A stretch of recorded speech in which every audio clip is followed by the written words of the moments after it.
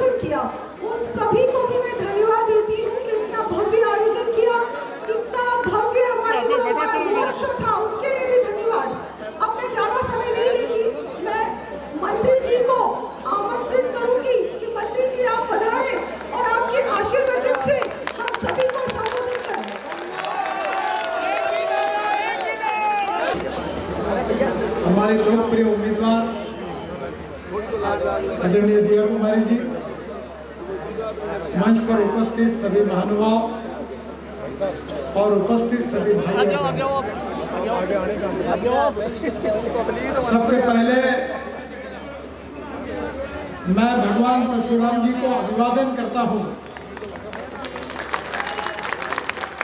और दीपावली के उपलक्ष्य में उनके आशीर्वाद से अगर आपके जीवन में कोई समस्या है, कोई प्रश्न है तो निश्चित रूप से उससे आपको अच्छे प्रकार से आशीर्वाद के साथ, परशुराम जी के आशीर्वाद के साथ आपका जीवन यशस्वी होगा। ऐसा ऐसा आशीर्वाद वो हम सबको दे, ऐसे उनके चरणों में प्रार्थना करता हूँ।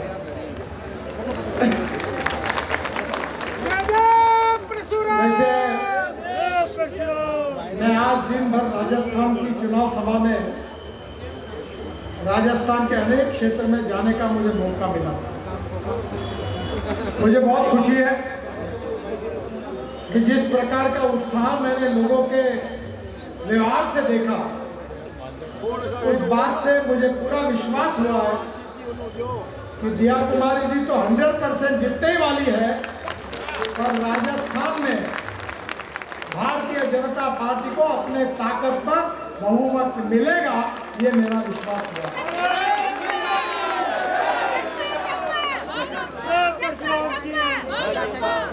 बहनों और भाइयों हमारे देश को स्वाधीनता 1947 में मिली। तब महात्मा गांधी जी के नेतृत्व में उन्होंने कांग्रेस ने बहुत बड़ा आंदोलन किया था। हमारे क्रांतिकारक और देशभक्तों ने भी उस समय कुर्बानी दी। उन्होंने भी क्रांति के मार्ग से अपने जीवन को नौचार कर दिया। 1947 में हम स्वतंत्र भारत के नागरिक बने। आज हमारे स्वाधीनता को हम पचहत्तर साल पूरे कर रहे हैं। अमृत महोत्सव मना रहे हैं। और इस पचहत्तर साल के इतिहास में इस देश को उसके विकास के बारे में अनेक आश्वासन हमें मिलते रहे।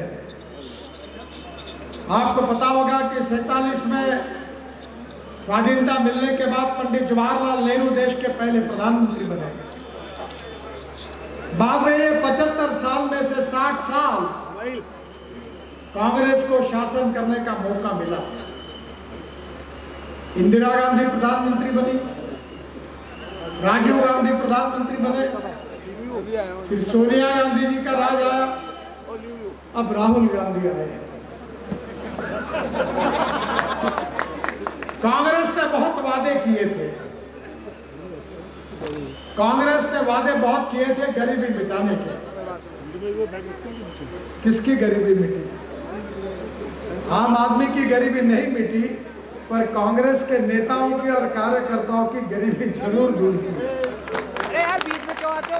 लाइट 1947 में कांग्रेस पार्टी ने समाजवादी विचारों के आधार पर हम इस देश के तकदीर को, भविष्य को बदलने का आश्वासन भारत की जनता को दिया। उसके बाद में समाजवादी पार्टी का निर्माण हुआ। डॉक्टर राम मनोहर लोहिया जी उसके नेता थे।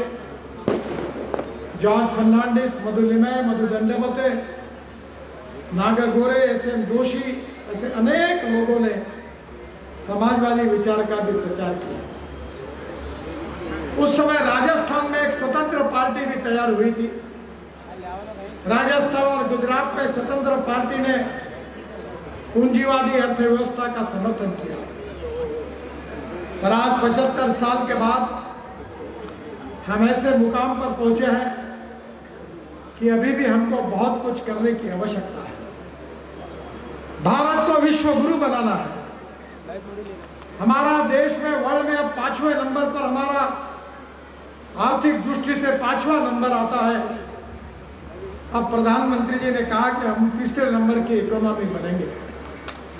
हम आत्मनिर्भर भारत बनेंगे। आत्मनिर्भरता का मतलब यही है कि हमारा जो भी कुछ इंपोर्ट हो रहा है वो कम होगा, हमारा एक्सपोर्ट बढ़ेगा, गाँव, गरीब, मजदूर, किसान का कल्याण होगा, सुखी, समृद्ध, संपन्न देश निर्माण होगा और दुनिया की पहले नंबर की आर्थिक ताकत बनेगी। क्या हम सब लोग मिलकर देश को दुनिया की नंबर एक की आर्थिक महाशक्ति बनाना चाहते हैं? क्या हमारे देश को इतिहास, संस्कृति और विरासत के आधार पर आज हमारा आयुर्वेद हो, योग विज्ञान हो, हमारा विशेष रूप से हमारी संस्कृति और हमारा इतिहास हो, इसके प्रति पूरे विदेशों में बहुत बड़ी चर्चा है, लोग उसका अनुकरण कर रहे हैं। जब यूनो ने योग डे की शुरुआत की तो दुनिया के करोड़ों लोग योगासन करने लगे। मैं, मुझे दुनिया घूमने का मौका मिला। जगह जगह पर भारतीय संगीत हो, भारत संस्कृत हो, हमारा इतिहास हो, हमारी विरासत हो, इसके आधार पर उसके अध्ययन करने वाले अनेक लोग हैं। आपको आश्चर्य होगा कि जर्मनी ने आयुर्वेद में हमारे से भी ज़्यादा रिसर्च किया है। हमारा योग विज्ञान दुनिया के आकर्षण का केंद्र बना हुआ है। और आज ये सब बातें देखते हुए मुझे स्वामी विवेकानंद जी की याद आ रही है। आपको याद होगा कि स्वामी विवेकानंद जी ने शिकागो के सम्मेलन में हिंदू धर्म का प्रतित्व करते समय एक प्रसिद्ध भाषण किया उन्होंने अपने पहले वाक्य में कहा था, भाइयों और बहनों, जैसे दो शब्द उन्होंने किए, कहे, वैसे इतनी टालियाँ गूंजने लगी कि तीन चार मिनट वो बोल नहीं पाए, इतने लोगों में खुशी थी। तब विवेकानंद जी ने एक भविष्यवाणी की थी। और वो भविष्यवाणी मैं फिर से आपको याद कर रहा हूँ। विवेकानंद जी ने कहा था कि अठारहवीं सदी जो थी, वो मुगल सल्तनत की सदी थी। जो उन्नीसवीं सदी आई तो अंग्रेज़ों का यूनियन जैक सब तरफ़ लहरा रहा था। और बीसवीं सदी जब आई तो अमेरिका एक सुपर पावर करके दुनिया के सामने आई। और विवेकानंद जी ने आगे कहा कि जो इक्कीसवीं सदी आएगी, वो हिंदुस्तान की आएगी, भारत की आएगी और भारत मैं जब जब भी, मैं तो कोई इतना विद्वान नहीं हूँ कि मैं कुछ कह सकता हूँ, बोल सकता हूँ, पर मैं जब जब अभी विदेशों में ज़्यादा लोग मुझे सुनते हैं। टेक्नोलॉजी के कारण अमेरिका में, यूरोपियन कंट्री में तो यूट्यूब से मुझे तीन लाख रुपए महीना मिलते हैं। हर भाषा यूट्यूब वाले डाल देते हैं। और बात तो मैं वही करता हूँ। मैं दो बातें क्योंकि आप प्रबुद्ध समाज के प्रतिनिधित्व है। दो बातें इंपॉर्टेंट है कि innovation entrepreneurship science technology research skill and successful practices we name it as knowledge हम उसको ज्ञान कहते हैं। और नॉलेज के आप उपासक है। नॉलेज ये सबसे बड़ी पावर है, सबसे बड़ी शक्ति है। और इसलिए conversion of knowledge into wealth हमारा भविष्य है। और दूसरी बात, जो मैं अक्सर लोगों को कहता हूँ कि no person is waste and no material is waste it is depending upon the appropriate technology it is depending upon the appropriate vision of the leadership that you can convert waste into wealth आप दो बातें ज़रूर याद रखिए। मैं नागपुर का सांसद हूँ। आठ साल पहले मैंने तय किया कि शहर का टॉयलेट का पानी बेचना है। टॉयलेट का पानी कोई खरीद सकता है? सब लोगों ने मुझे मूर्खों में निकाला। मैंने कहा नहीं हो सकता है। और मुझे आज खुशी हो रही आपको बताते समय कि हम लोग सात साल से नागपुर शहर का टॉयलेट का पानी शुद्ध करके महाराष्ट्र गवर्नमेंट के कोराड़ी और खापरखेड़ा दो पावर प्रोजेक्ट को देते हैं जिससे हमको 300 करोड़ रुपए साल के मिलते हैं। 300 करोड़ मैं तो लोगों को कहता हूँ कि इस देश में पैसों की कमी नहीं है। आप कहीं भी जाइए हिंदुस्तान में। मैं कभी लोगों से झूठ बातें नहीं करता। जो बोलता हूँ, वही कहता हूँ, और जो कहता हूँ, वही करता हूँ। लोगों को विश्वास नहीं था कि दिल्ली से जयपुर दो घंटे में जाएँगे। लोगों को विश्वास नहीं था कि दिल्ली के देहरादून दो घंटे में जाएँगे। दिल्ली से हरिद्वार डेढ़ घंटे में जाएँगे। दिल्ली से चंडीगढ़ ढाई घंटे में जाएँगे।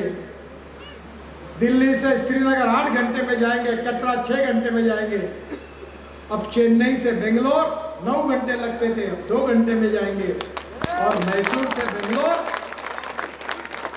ये साढ़े तीन घंटे लगते थे, अब एक घंटे में लोग जा रहे हैं।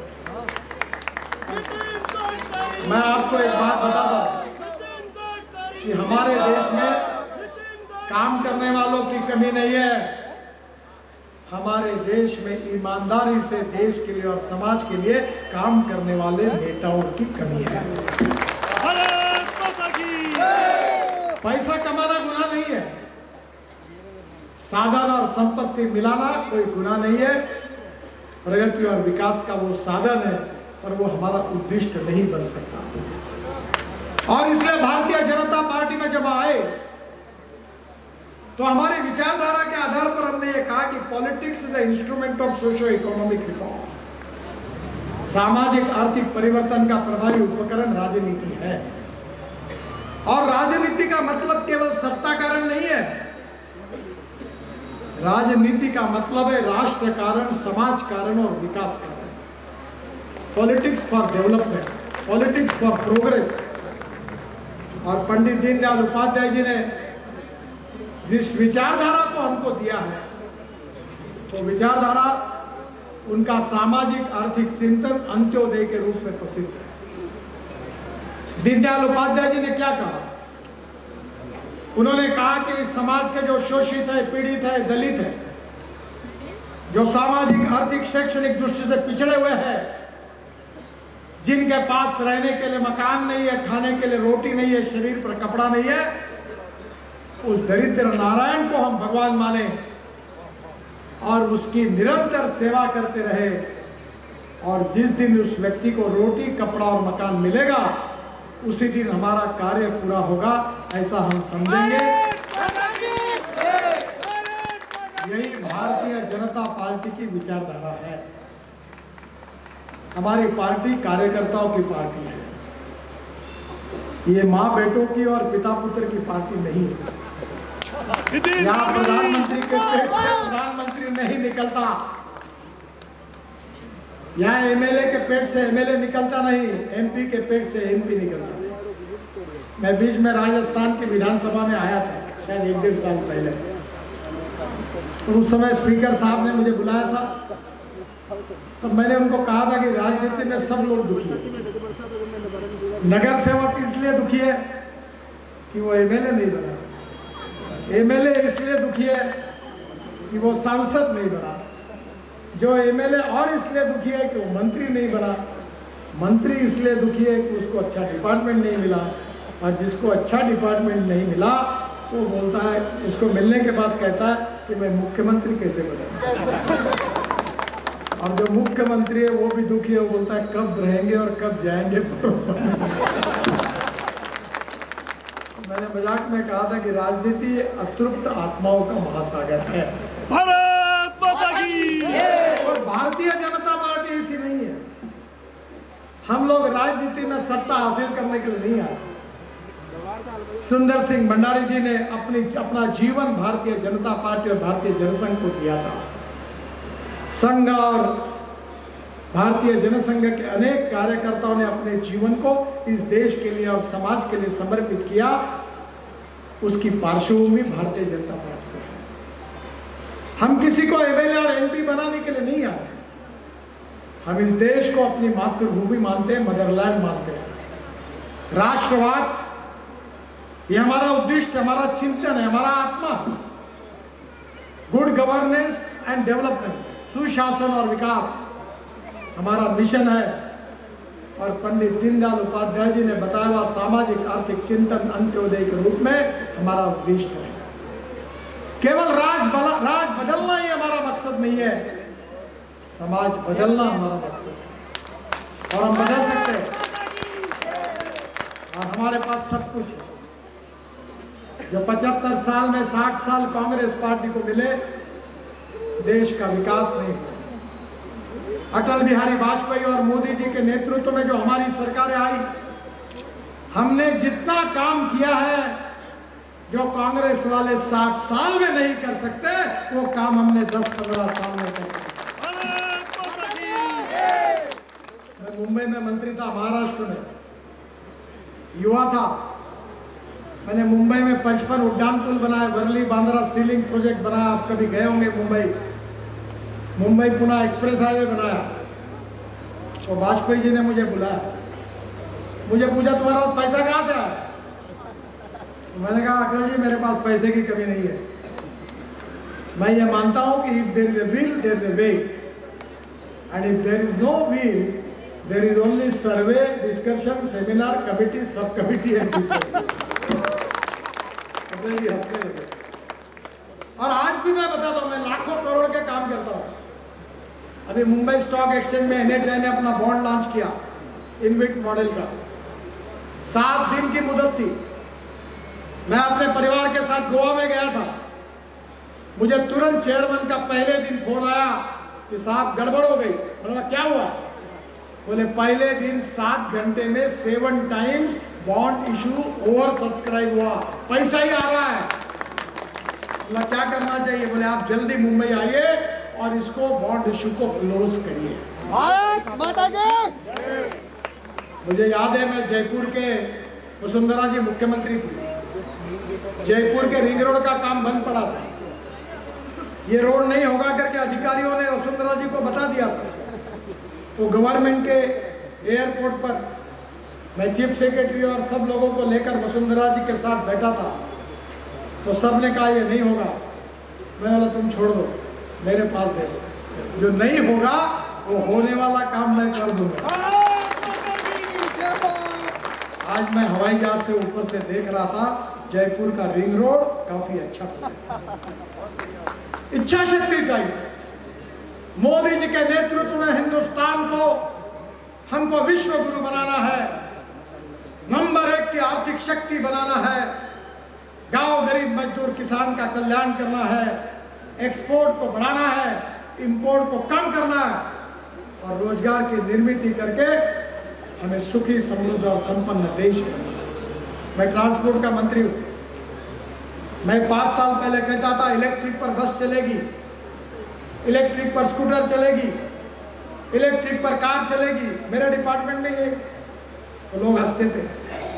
मुझे पत्रकार सवाल पूछते थे कि इलेक्ट्रिक गाड़ी रास्ते में बंद हुई तो क्या ढकलना पड़ेगा?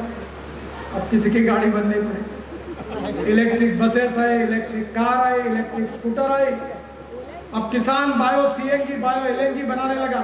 जो परली से प्रदूषण हो रहा है 180 प्लांट पंजाब हरियाणा उत्तर प्रदेश में परली से सीएनजी और एलएनजी बनाने का काम शुरू किया हमने किसानों ने इथेनॉल बनाया मेरे पास एक टोयोटो की गाड़ी है इनोवा ज़रूर देखने के लिए आइए।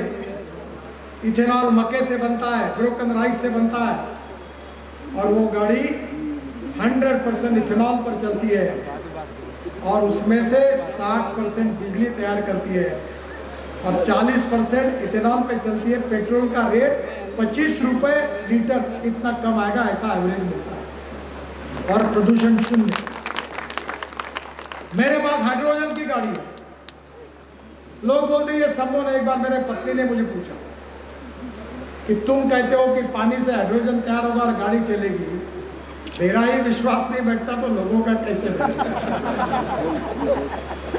तो मैंने टोयोटो कंपनी के चेयरमैन विक्रम किर्लोस्कर को फ़ोन किया कि मुझे हाइड्रोजन की गाड़ी चाहिए।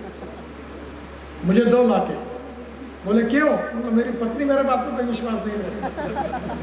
आज दिल्ली में मेरे पास हाइड्रोजन की कार है। मर्सिडीज से भी अच्छी है। ना धुआँ निकलता है, ना पानी निकलता है। ये देश बदल सकता है। ये देश आप बदल सकते हैं। अभी मैं दिल्ली से जयपुर इलेक्ट्रिक हाईवे बनाने वाला हूँ। तीन बसें जोड़कर इलेक्ट्रिक पर डायरेक्ट दो घंटे में दिल्ली से जयपुर। हवाई जहाज़ जैसी एयर होस्टेस होगी। चाय पानी नाश्ता होगा।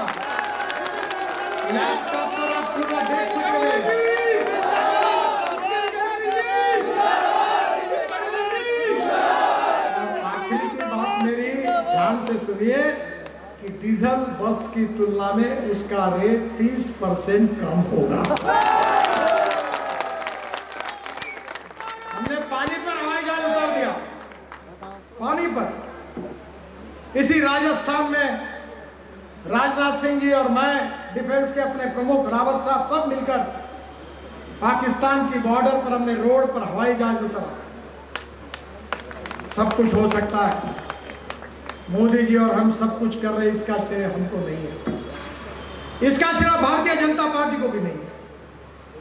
इसका श्रेय अगर किसी को है तो हमें चुनकर देने वाली मेरे सामने बैठी हुई जनता को है। आप अगर सही निर्णय नहीं करते आप अगर हमारे सांसदों को चुनकर नहीं देते दिया कुमार जी सांसद बन के चुनकर आई। अगर हमारे सांसदों को आप नहीं जिताते तो मोदी जी प्रधानमंत्री नहीं बनते। और मोदी जी प्रधानमंत्री नहीं बनते तो मैं भी मंत्री कैसे बनता? तो जो कुछ चल रहा है वो आपके कारण है। माए बाप सरकार आप ही हो। भारत माता की। और इसलिए राजस्थान के विकास के लिए डबल इंजन चाहिए। दिल्ली में मोदी जी के नेतृत्व में एनडीए भारतीय जनता पार्टी की सरकार है। अब राजस्थान की सरकार को आराम करने दो जो है अभी। वो काम की नहीं है। अब राजस्थान में फिर से एक बार जो कीचड़ फैला हुआ है, वो कीचड़ हटेगा। सूरज निकलेगा और भारतीय जनता पार्टी का कमल। को बहुत अच्छे तरीके से समझ गए। दिया कुमारी के रूप में एक बहुत अच्छी सांसद। मैंने अभी पूछा उनको कि उनके मतदार क्षेत्र में मैंने कितना काम किया? आठ दस हज़ार करोड़ का किया होगा कोई सांसद नहीं है राजस्थान का जो छह सात हज़ार करोड़ से कम है। मैं नहीं बोलता ही नहीं। मैं यही कहता हूँ कि काम बोलने वाला थक जाएगा पर काम करने वाला कभी थकेगा नहीं हर बार अपने मतदार क्षेत्र के लिए 25 बार मेरे घर के चक्कर काट चुके हर बार ईमानदारी से गरीबों के काम कैसे होंगे, गाँव गरीब मजदूर किसान को न्याय कैसे मिलेगा राज परिवार का परिवार का बैकग्राउंड होने के बाद में भी गरीबों के मन में भरे हुए संवेदनशीलता रखने वाली वो नेता है क्या कुमारी जी? क्या कुमारी जी? उनमें काम करने की क्षमता है। आपकी आशा, आकांक्षा और अपेक्षा पूरी करने की ताकत है। इस मतदार क्षेत्र को बदलने की ताकत है। और भारतीय जनता पार्टी की वो उम्मीदवार के रूप में खड़ी है। मुझे पता है कि उनकी जीत तो बिल्कुल पक्की है। और आप उनको ऐसा जिताइए कि जितने उम्मीदवार खड़े हैं, उनकी जमानत जब्त करके उनको जिताइए।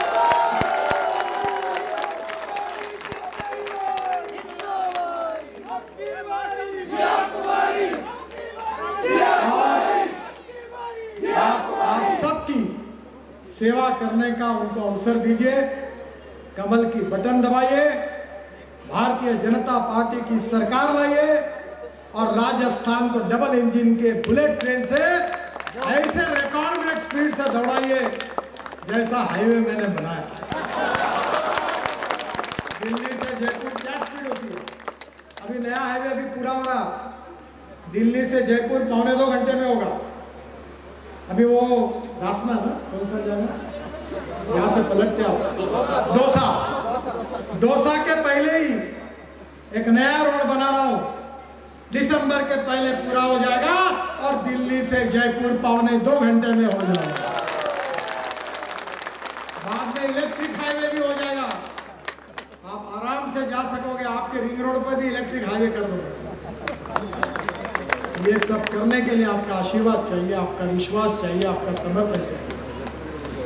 दिया कुमारी जी को जिताइए भाजपा का सरकार लाइए और अच्छा काम करने के लिए परशुराम जी का तो आशीर्वाद हमारे साथ है। पर आप सब जनता, जनार्दन का भी आशीर्वाद हमें ताकत देगा, हमें शक्ति देगा, देश के लिए, समाज के लिए काम करने की विजन देगा। और निश्चित रूप से हमारा देश आत्मनिर्भर भारत बनेगा, विश्व गुरु बनेगा और दुनिया की नंबर एक की सुपर इकोनॉमिक पावर बनेगा। यही आशीर्वाद आप ज़रूर दीजिए। दिल्ली में मेरे घर पर एक बहुत महत्वपूर्ण मीटिंग है। एक उत्तराखंड में एक हादसा हुआ है। चालीस मजदूर फंसे हुए हम कोशिश कर रहे रात दिन। और टेक्नोलॉजी के एक्सपर्ट वालों को आठ बजे ही मैंने घर पर बुलाया था। तो मुझे निकलना है। मैं फिर से एक बार आप सबको बहुत बहुत बधाई देता हूँ। परशुराम जी के चरणों में वंदन करता हूँ और मेरे साथ ज़ोर से कहिए, भारत माता की भारत माता की भारत माता की नमस्कार धन्यवाद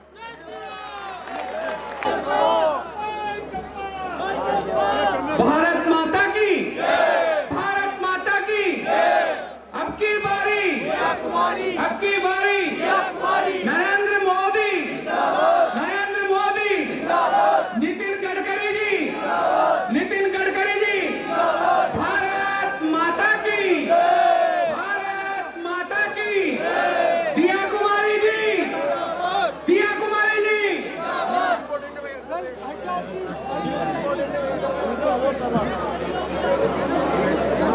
चंद्रकांत जी भाई साहब प्लीज़ चंद्रकांत जी भाई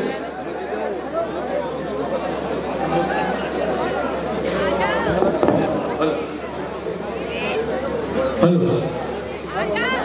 माननीय। एक बारी जितने भी लोग हैं एक बार भाई साहब को आदरणीय मंत्री जी को एक बार आराम से वहाँ तक पहुँचने दीजिए। जितने भी कार्यकर्ता बंधु इस मंच पे सभा सभा में हैं उनसे विनम्र निवेदन है कि अपने अपनी जगह यथावत खड़े रहें।